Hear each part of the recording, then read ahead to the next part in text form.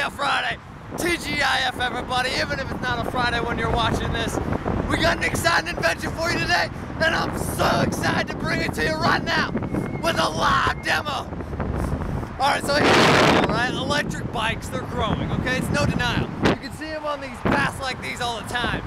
But there's one problem with these, cost, and the main reason for that cost is the battery. Okay, that battery, usually lithium ion or lead acid, it's no good. It's no good. It's too heavy. So that's why the invention idea Friday today is direct solar power to motor. Okay, we have a live demo for you right here with the motor right here going around. Now, unfortunately, the show must go on and we have cloudy skies above. The sun is about right there with minimal UV rays to hit our solar panel. Unfortunately, not exactly powering our motor like it should. But here's the idea.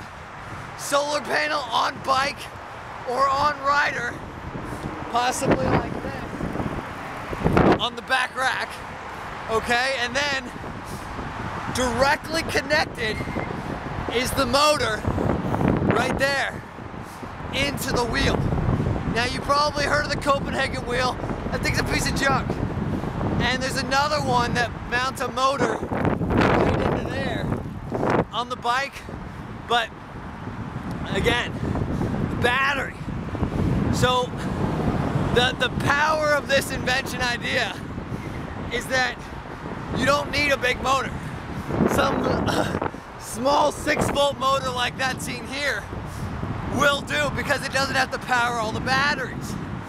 So a small solar panel like this, small motor, directly connected, that's what DC stands for, directly connected. And, and it just solves the, the uh, electric bike problem very easily. So that's the side, got some AC power running up there. And that's the 405. Have a great weekend, everybody. That's the SAG.